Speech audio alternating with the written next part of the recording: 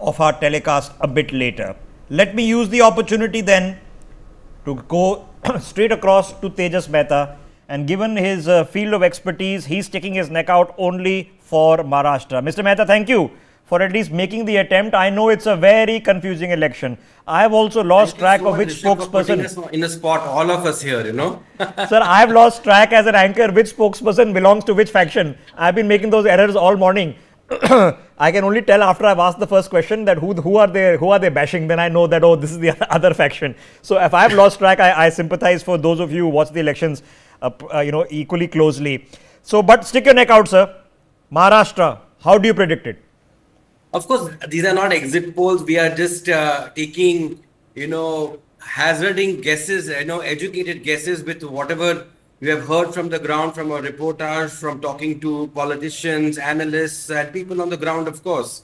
Now, uh, I have, of course, gone from the figures we have from uh, the 2024 Lok Sabha elections because that was the first time we have seen uh, the MVA and the Mahayuti contest against each other.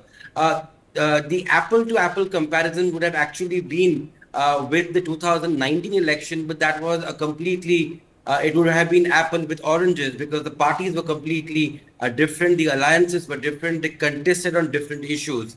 So I have taken uh, my base starting point as that, added issues to all of this uh, that are prevalent on the ground. And there are many, many issues which are, which are which is what actually creating a sort of a hotspot or a khichdi and that is where there are so many influences actually in this election because this is not 2014 where you have a wave election. This is not uh, 2019 in that sense where you know the prime minister could win on his charisma. Now times are different and therefore uh, local issues have to become far more prominent especially in a state like maharashtra where local issues have become far more prominent because we have not really had municipal election so even आपका सड़क बुरा है बिजली नहीं चल रही है it's all coming out now in assembly elections which should not really be the case because the assembly is for larger issues the municipality the panchayat really takes care of smaller things so let me get uh, straight away uh, to the figures which uh, i have uh, come to and i have not given um, uh, a majority to any of the alliances. And the primary reason for this is because of the rebel factor. Remember, rebels are going to either play spoilers, they will ensure that, uh, you know, their, the parties which denied them tickets, uh, their candidates do not win, or they will they could even win themselves. Maharashtra at least has about 10%, somewhere around 25 to 30 seats uh, being won by independents. So rebels would come in that category. They could win, uh, you know, by themselves around eight to ten seats. So the number of uh, others uh, that uh, category has now increased in my estimate to 35. I have put uh, the Mahayuti at uh, 128 and I have put the MVA at 125. If you go back to our base, as I was saying, the Lok Sabha 2024 elections, uh, at that point of time, the MVA was ahead with 153 seats. In fact, they had won that much, and uh, they uh, and the leads would have been that much in the assembly segment. And the Mahayuti was 126, so it was behind by about 25, 26 uh, seats. The Mahayuti has made progress because of the Ladki Bahin scheme, which is I think, going to be the biggest game changer, biggest influencer in this election. The the MVA loses out on that, in my opinion. And there are other factors. The MVA also loses out because of excessive rebel, uh, you know, antagonism and cutting off votes, which, which is going to happen. And what the Mahayuti loses out on is, of course, the basic, you know, bread butter issues like uh, inflation, uh, especially of vegetables in Maharashtra, skyrocketed. Um, agrarian crisis uh, we have seen in the Vidarbha area uh, during the Lok Sabha election. The Mahayuti did not really do very well. In fact, the Congress was the one which really did well. So I think because of the policy changes, largely Bahan Bahan scheme, and a slew of measures they have taken in the last uh, a few weeks, the Mahayuti has a slight edge. Okay. But 35 is is others, so they will have to bring rebels and that is going to complicate the situation okay. even more. So for people who are not watching this from Maharashtra, uh, the Mahayuti is the current incumbent, okay, uh, being ruled uh, currently led technically by the BJP, but the chief minister is from a different party. BJP the largest party. So now let me put that into context of numbers. What you've just heard is the is the full. Let me give you the breakup. 81 says Tejas Mehta or thereabouts for the BJP.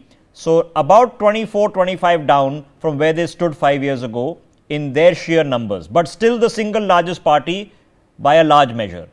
The Congress improving to 52 and becoming the second largest party in Maharashtra.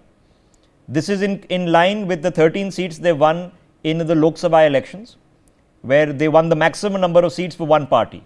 The Shiv Sena, as run by Eknath Shinde at around 41 seats, and the Shiv Sena UBT at 45 seats. This would mean that the two Shiv Senas are potentially winning more seats than the BJP, significantly improving upon their baseline performance as a, as a single party uh, five years ago, where uh, the BJP, remember, had got 105.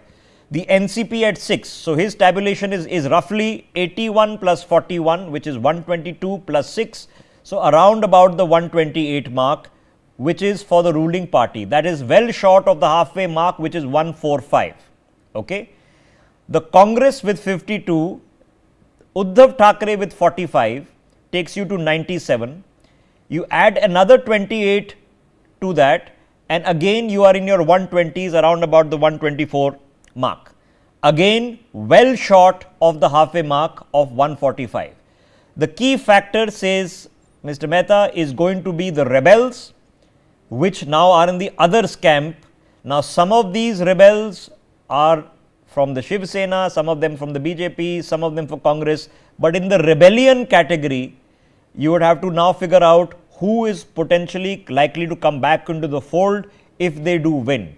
There are 8 to 10 people he feels who have exited recently because they have not gotten given, given, given tickets by their parties or in the alliance arithmetic, their seats have gotten left out from the alliance, therefore, they've missed out on the, on, on the ticket in the name of their party. 35. So, these rebels, along with the others, are going to hold the key for government. So, it's a hung house with an improved performance as far as 2019 is concerned for the Congress Uddhav Thackeray Sharad Pawar alliance but not necessarily a dramatic improved, dramatically improved performance, roughly given what happened in the Lok Sabha. Okay, thank you, Mr. Mehta. We will come back you, to you to analyze this very shortly. All right, let me now invite into this Expert-O-Meter